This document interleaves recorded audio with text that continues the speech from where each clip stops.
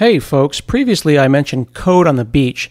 That same group is hosting a conference on a cruise ship, Code on the Sea. It's a five day cruise from Jacksonville, Florida to the Bahamas, stopping in Nassau and Half Moon Cay from February 28th through March 5th, 2015. Now, these sessions are going to be held on sea days, so you'll have enough time with your family plenty of time on the ship, explore the Bahamas, through some excursions, and then you'll get to soak in that warm weather in early March. It's uh, sounding better than spending the week back home where it's cold.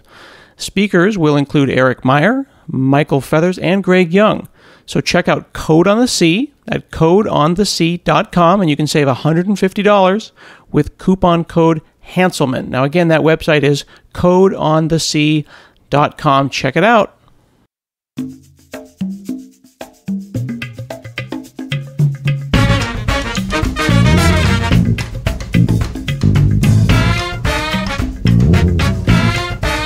From HanselMinutes.com, it's Hanselminutes, a weekly discussion with web developer and technologist Scott Hanselman. This is Lawrence Ryan announcing show number 432. In this episode, Scott talks with David Catuhe about learning WebGL and making 3D HTML games. Hi, this is Scott Hanselman, and this is another episode of Hanselminutes, and we're going to be talking about WebGL and the Babylon JS engine with uh, David Catuhe. How are you, sir? I'm fine. Thank you very much for inviting me. No, absolutely my pleasure. So I'm trying to get my head around all these different APIs. You know, it seems like in the last few years, browsers have uh, exploded in the number of things that they can do from ge- geolocation and simple APIs like that to more deep APIs like WebGL. Uh, would you consider WebGL to be part of what we say when we say HTML5? Absolutely. It's broader than HTML5, but yeah, for sake of simplification, we can say that it's part of HTML5. And when I go to the Can I Use website, caniuse.com yep. slash WebGL, uh, it seems like, uh, while there's not necessarily broad support, particularly around mobile, uh, near future is going to include iOS. That seems like the beginning of the broad, broad adoption of WebGL. Absolutely. Uh, it started with Chrome, then Firefox, and then IE. And right now we have WebGL on Windows Phone, uh, on almost all Android stuff. And with the announcement of uh, Apple moving uh, WebGL onto iOS, yes, we can say that right now we have powerful tools to do 3D almost everywhere. When when someone is thinking about canvas, when someone makes a canvas and just wants to draw a a circle, this would be 2D. They would do this just with the Canvas API?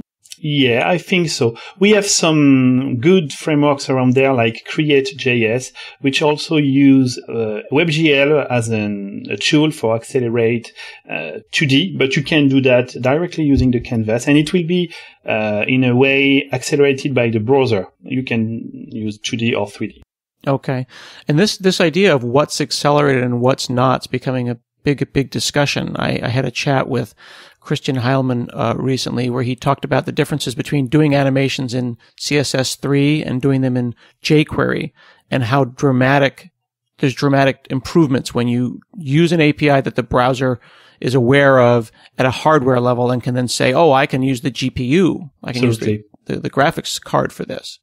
Yeah, absolutely. And it's a, a, real challenge for web developers today. I hope that in the near future, jQuery will be able to detect that some animation can be done with CSS. And I think for a part of them, it's already the case. Uh, we did the same thing with WinJS. Some of the animation of WinJS are just done using CSS3 animations.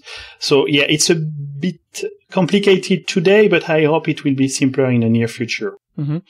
I see people talking about CSS in the context of 3D, when should someone do their CSS or do an animation in CSS and a 3D transform versus when is it time to jump to WebGL?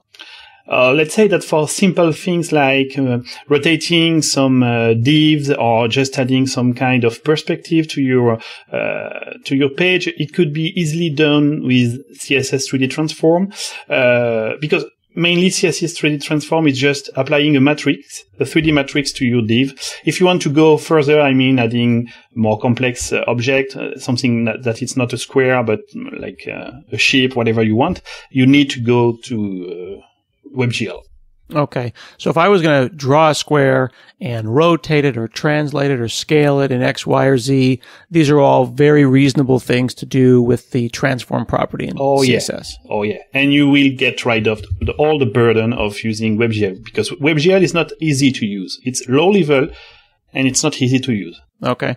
But if I wanted to draw a cube, something that actually has depth, then if I wanted to do that in CSS, it becomes more of a challenge. And I assume oh, yeah. I would then have to start thinking about the Z axis, which I don't really think about in, uh, in CSS.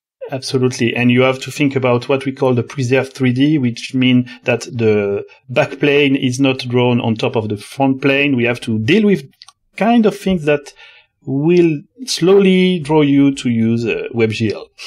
Okay, so talk more about Preserve 3D and why that's important. It's important because if you want to draw, to draw in 3D, we need to have some kind of depth buffer. I mean, you need to ensure that the pixel you are drawing is in front of the previous pixel.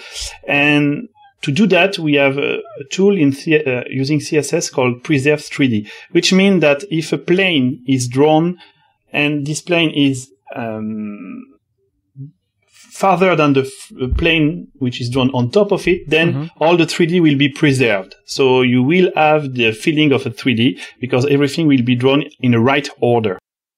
Ah, I see. So then that transform style value that you would put on a div can be either preserve 3D or flat.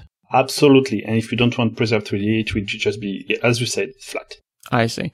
And it sounds like that's about as far as you can go in, in, in CSS. I mean, it, it provides some ability to, to rotate and turn things around. But if I were going to draw something like a sphere, it's definitely time to get into Oh yeah, it will be really challenging. I saw a lot of experiment that only use CSS, but it's just for really genius guys. If you want to really do 3D like a sphere, cone, torus, whatever you need, WebGL. Mm-hmm. I was familiar uh, early on with SVG, and when I, as a, as an old school HTML person, I think about markup hmm. first. Hmm. I think about markup first. So when I started looking into WebGL, I started kind of searching around, and ignorantly, I was trying to look for what do the angle brackets look like? And then I finally figured out that WebGL is a JavaScript API entirely. There's no angle bracket representation of these objects, are there? Absolutely. There is um, a project launched by the Fraunhofer University from Germany called X3DOM, which is exactly what you are talking about as a, a group, a set of um, HTML elements that describe 3D scene. But right now, if you're thinking about uh, uh, about WebGL, it's like comparing Canvas and SVG. They both draw 2D stuff on the screen. One is based on a, a, model like the canvas, which is JavaScript orders, and SVG is more about HTML elements. Right okay. now, we just have WebGL, which is the canvas for 3D, and X3DOM, which is some kind of SVG for the 3D. So you're saying X, the letter X, the uh, number letter, three, and then the word DOM. Absolutely. So this is a, uh, would you say even a declarative 3D? It's a uh, way yeah. of saying, here's a scene, here's a viewport, here's a background, here's a shape, and describing it. So in the context of something like XML that listeners might be familiar with, I could use a DOM API and build the tree procedurally, or I could build the tree declaratively. And you're saying that X3 DOM is the beginning of the discussion around how to describe a 3D scene declaratively. Absolutely, and they try to make it really uh, convenient to use. You can think about uh, XAML when we tr- when we introduce 3D in XAML. It's almost the same thing. We have uh, a tag for scene, a tag for camera, a tag for materials. Everything is declarative. And are people who who work in 3D going to be uh, familiar with these terms? This idea of like a scene and a camera and yeah, the angle. Absolutely. So was WebGL created with those th- people in mind who are already making 3D content? No, not at all. It's really a low level uh, API. It's more like DirectX for the web. I mean, you just have uh, control over a drawing triangle and then you have to define a global state machine and you have to specify really low level things that communicate with the GPU, meaning shaders, um, state like alpha, manipulation of the geometries, everything that it's not high level at all. That's interesting that you say that because I went up to a website called Learning WebGL. Oh, yeah. And they have an example where they drew a triangle and a square. And I started, I said, Oh, I'll do a view source and this will be lovely. And I can see in here square vertex position buffer and they're making arrays of data and vertices. And I was immediately overwhelmed and frankly a little disappointed. Uh, because I'm, I'm sure that from a from, from the perspective of someone who does 3D all the time, they might say, ah, these are familiar APIs to DirectX, but to someone who just wants a square, it was immediately overwhelming. Absolutely, absolutely. And this is exactly the price you have to pay today if you want to use the raw power of your GPU. You have to go really at a low level, communicating with your GPU, but in a really harsh to understand way. Mm-hmm. So is that why the kind of the next obvious thing is to uh, use an API on top of that, like whether it be Babylon or, or what, some of your competitors? Uh, it's 3JS, mainly 3JS. 3JS. 3JS? Yeah, it's exactly why four years ago, uh, Mr. Doobs, the creator and the author of uh, 3JS, started working on 3JS.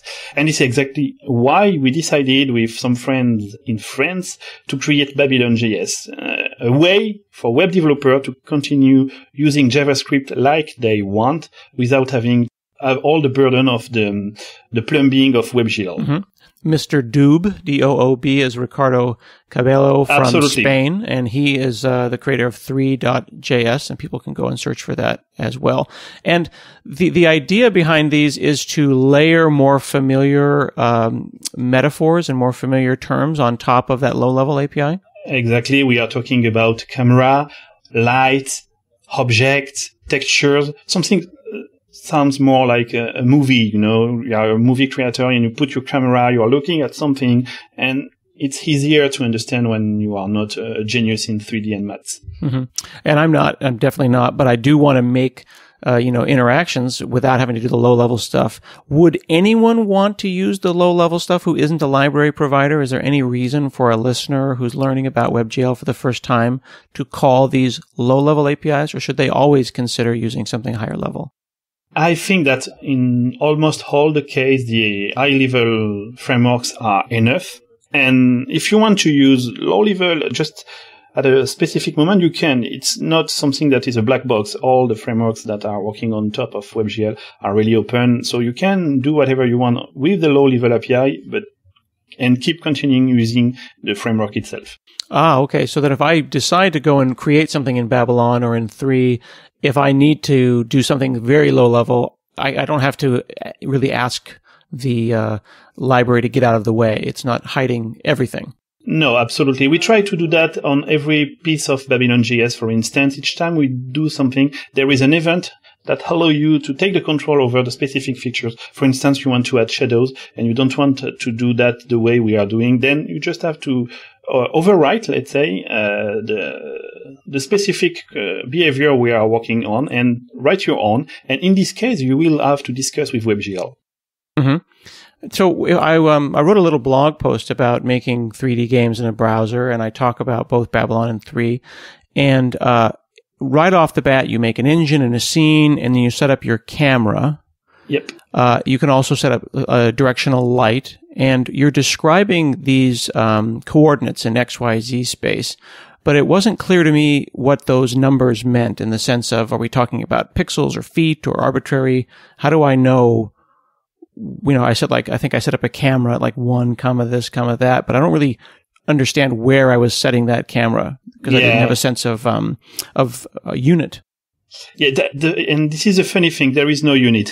uh, the unit, for instance, if you create a, a, vector like zero one zero, then the one is whatever you want. It can it can be one meter, one centimeter. Sorry, I'm French, so I use meter and centimeters, uh, or one mile, or whatever you need.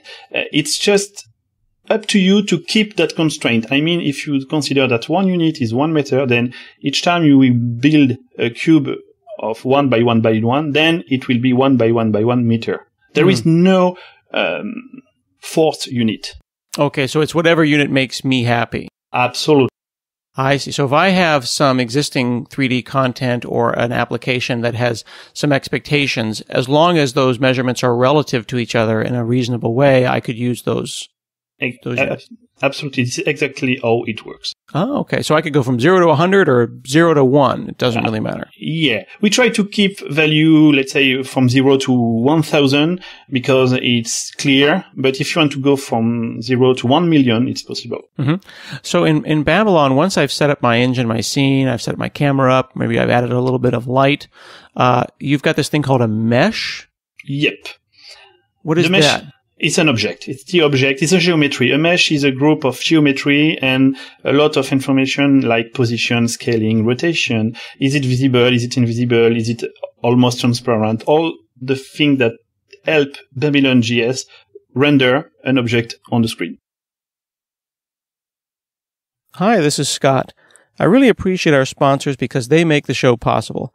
Today's show is sponsored by Developer Express. Become a UI superhero with DevExpress controls and libraries. Deliver elegant.NET solutions that address customer needs today by leveraging your existing knowledge. You can build next generation touch enabled solutions for tomorrow. You can download your free 30 day trial at dx.hanselminutes.com. That's dx.hanselminutes.com. So if I said babylon.mesh.createBox, this is something that you're dealing with internally. Like you have these API, you have these, these functions where you know what a box looks like and you've just set up a series of shapes. Absolutely. This is exactly how it works. You create, we call create box and then internally, internally, sorry, I'm creating all the um, vertex, all the dots in space and I uh, gather them using faces to give you a box. And how many different kinds of uh, primitive objects do you provide? We have box, sphere, torus, torus knot, um, and plane. And I think I'm done. Torus is like a donut. Yeah, it's a donut. It's a donut. And the torus knot is a double donut. Ah, okay. So what do I do though when I've got, uh, you know, some existing 3D asset, like I see on Skype here that you have Kosh from Babylon 5. Let's say I have a 3D model of Kosh that I made in some other application. And this is something we are really working on. We try to make as simple as possible for the developer to get data from the 3D world. So for instance, we have uh, an exporter from Blender, which is a free 3D modeling tool. And we also uh, have an excellent 3ds Max exporter. So you just have to bring some DLL into your 3ds Max installation folder, and then you will be able to just push a button, and everything that you have into 3ds Max will be um, saved into a dot .babylon file. And from your JavaScript code, you just have one line of code to load this .babylon file. So instead of having box, cube, and whatever you can just create using JavaScript, you will be able to have your Kosh, uh, Vorlon object or whatever spaceship you need to, to have. So from the point of view of HTML and JavaScript, this ba- .babylon file is a set of vertices. It's a, it's a format. I presume it's some kind of JSON format?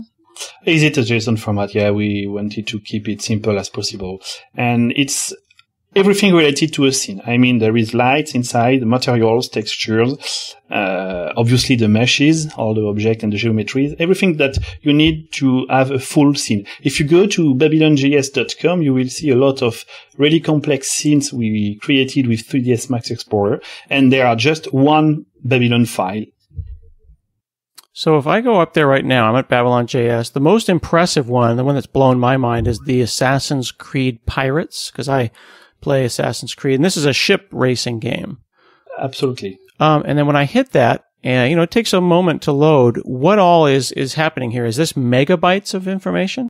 Oh yeah, I think that the size of all the scene, meaning every kind of weather, the weather, all the textures for the ships, is around 40 megabytes of data. 40 megabytes. And this Yeah, isn't 40. 40 megabytes of JSON. I presume that the next step beyond the structures in the scene is the textures.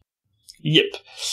The textures are pretty heavy and we are using something really interesting, which is the DDS. DDS is a compressed format and as the opposite of using a, J- a JPEG, for instance, JPEG is also compressed, but, but when you want to download the JPEG into the GPU memory, you have to uncompress it and save it uncompressed into the GPU memories. Mm-hmm. For with DDS, we have the ability to just load the, DD- the DDS like it, save it into the GPU memory, and the GPU is able to uncompress it when it needs to render your objects, for instance. Mm-hmm.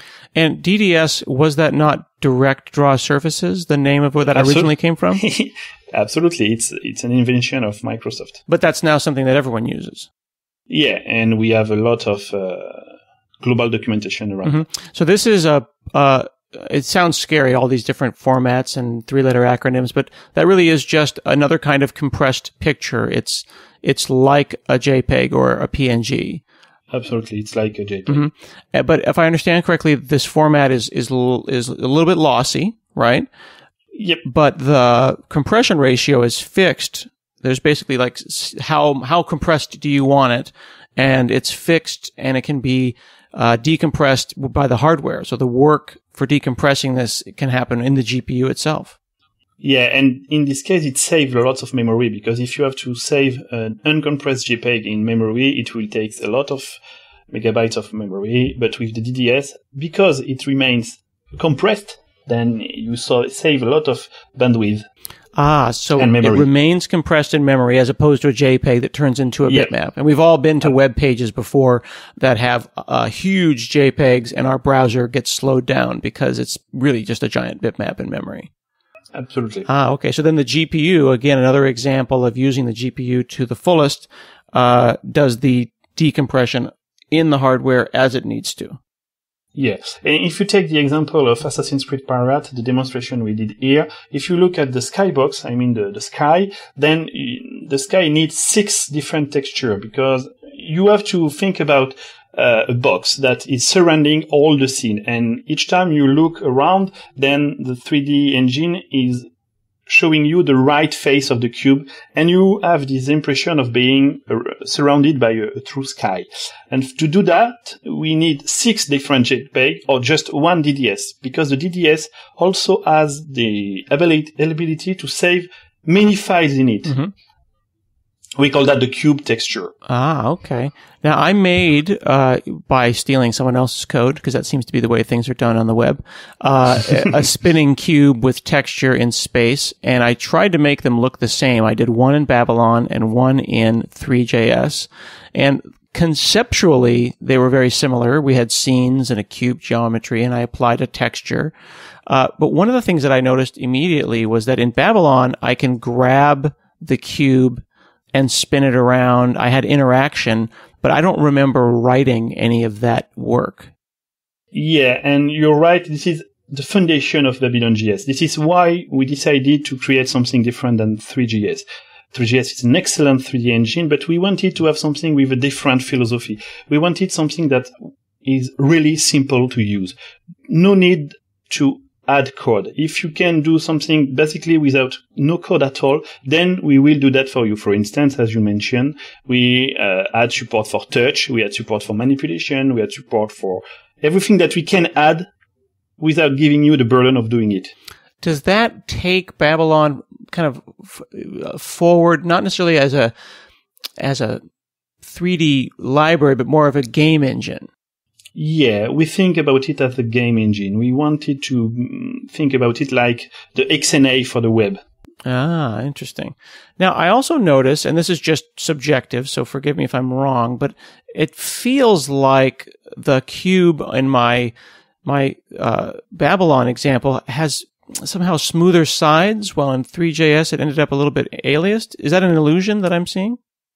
Uh, we are working a lot with uh, two different perception things. When you want to make it rotate, we add some inertia, so it feels like it's more smooth.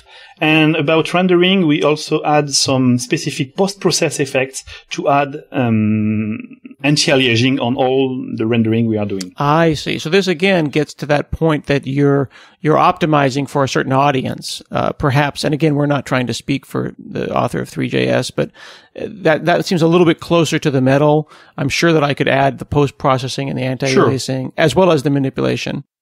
Uh, but you're doing that for free. So you're trying to basically make me successful without me having to be very, very good at 3D work. Yeah, we, we try to add a lot of things for you. And instead of asking you to add things, I prefer asking you to remove things. Ah, interesting. So then in order to, I would add things to the 3JS example to get manipulation and I would have to turn them off in Babylon. Absolutely. It's exactly the philosophy. Mm-hmm. Now, I was looking at the Assassin's Creed example, and it appears that it was made by the IE team uh, along with the folks at uh, at Ubisoft. Yes, it's a partnership between IE team and Ubisoft. We wanted to showcase the fact that, as you mentioned just at the start of this uh, show, the web is almost ready for gaming. I mean, true gaming, triple A gaming, and Ubisoft is convinced that we will be able to have really great games without any plugin in a browser. So the, they really think that's going to happen. So that means that uh, I would be able to get a you know a Steam quality game at some point, like a Bastion or some game that perhaps is already cross-platform, and run that in the browser just fine. I mean, we've we've all seen Quake and the examples. There's always the yes. the Wolfenstein 3D in the browser, but they're talking about like Assassin's Creed quality games. Yes. Right now we have to figure out some specific points like IP protection and how to monetize things. So it's just a beginning. Technically, we can create games. This is not a problem of technical stuff or JavaScript or whatever. We have the, the raw power and access to the GPU. It's more about monetization and how to protect my assets. So the we have full access to the GPU and the browser's not keeping us from that. We know that JavaScript from a speed perspective is near native speed right now and certainly getting faster every day. Uh, there's memory issues, presumably. Uh, people aren't used to a browser taking up maybe four or 500 megs of RAM like a game is, but I'm sure they can get over that. Uh, what about storage and caching? Do I, if I want to play Assassin's Creed, I'm going to go on Steam and download 15 gigabytes of uh, and and store all of that. If I was going to play the equivalent game in the browser, would you have the browser kind of keep a ring buffer of just the textures and the information I need for the current level, and then maybe, or would I just cache it all and have a five or ten gig uh, browser cache? For Babylon JS, what we decided to do is to use IndexedDB, the database of the web, uh, to save everything locally. So this, this means that the first time you will connect to the game, we will download for you everything into the local database, meaning that if you want to go offline, you can play you can still play the game even offline because all the textures and the resources are saved locally. We have obviously some limitation uh, when it come to speak about space, we can go to 100 megabytes. Um, it's the limitation we have, uh, but it's it's just a good a first idea. We can do a lot of things with uh, local cache. We have to figure out how to do that, like you do that in Steam, for instance. Mm-hmm. Yeah, it, it is amazing though how much you can do with not a huge amount of data. Uh, there's this really cool example uh, on Babylon JS called Hill Valley. That is yeah. uh, basically it's the space where Marty McFly, uh, you know, parks his car and goes to the uh, clock tower. It's an incredibly complicated scene. I mean, it's effectively the entire town square. You can walk around, and it's only about 70 megabytes. Yep, and we added a lot of Easter eggs. If you want to wander around, we added some really cool stuff around, and it's just 70, as you said, megabyte, and it's just JSON. We are working on a more compressed file format to save bytes right now, and I'm pretty sure that we can do that with just 50 megabytes. Really? You know, it would it would yep. be very interesting to compare what an application written in a traditional gaming language you know, looks like taking something that's like uh, maybe this Hill Valley example in C or C++ and how that would be different uh, versus writing it in JavaScript. I mean, is this not just trying to get it to work in the browser, but is it really a superior way to deliver a 3D game? Yes, you can reach a lot of people with just a browser right Mm-hmm. now. We can reach every people that have a computer today is able to get a browser. It's free. You can just download it and it will work. Now, as I'm wandering around, I'm, I'm flying around uh, Hill Valley right now, um, and of course, I can I have God mode, so I can go in and out of walls and things. Um, I noticed that some of the textures look amazing uh, far away, but if I get close up, then I can see I can see the JPEGiness. Um, Yes. Could you have different levels of textures like you see in 3D games, where it gets better quality as it begins to pop in? Yeah, if we wanted to do that, we can just add some DDS because DDS integrate uh, features called MIP mapping, and MIP mapping is a level of quality for textures. If you are closer to a texture, then the texture will be extremely neat and precise. And if you are going further, then we will use a different level of MIP map. Uh, the, the, the functionality works like this. You have the full range, which is the first level, let's say 1000 by 1000. And you have a second level of MIP map, which is just the divided by two. So let's say 500 by 500 and so on and so on. And automatically WebGL is able to pick the right one based on your distance from the object that you are looking at. I see. So then it becomes uh, a really uh, an asset management problem more than it's anything else. It's not an issue of code. This is just the to the limits of my artist's ability to create textures. If I ask my artist to redo this scene, with this scene with just DDS, then this problem will go away. So I just got inside the car here and something happened. I'm not sure if that's one of the Easter eggs. I got inside Marty's DeLorean and then some some kind of cool effect occurred. I think you find one of them. I'm going to have to explore this. This is pretty amazing stuff. Do you think that this is going to ha- we're going to see more people getting involved in game creation because it's such a more um, accessible way to do it? Oh yeah, I think so. If you are looking at what Unity announced, Unity 3D announced for their version 5, they will be able to directly export any Unity game into a full WebGL stuff. Look at also what Firefox is doing with ASM.js and uh, it's all around us. I'm pretty sure that, yeah, let's say in three or perhaps four years, there will be a lot of WebGL games. That's interesting. The idea that, that JavaScript is a compilation target, you're saying WebGL and JavaScript as a compilation target where uh, toolkits like Unity that are already almost game generators, someone could simply say export as web-based game. Yeah, and it's something that you already notice on your own blog when you was talking about JavaScript is the assembler of the web. Yeah. Right, right now, JavaScript is just the support of everything that if you want to just be fully cross-platform. Fantastic. Well, thank you so much, David, for chatting with me today. My pleasure. Thank you so much. You can go up and learn more about Babylon.js at babylonjs.com, and I'll put links in the show notes to David on Twitter and his blog and uh, also his GitHub. This has been another episode of Hanselminutes, and we'll see you again next week.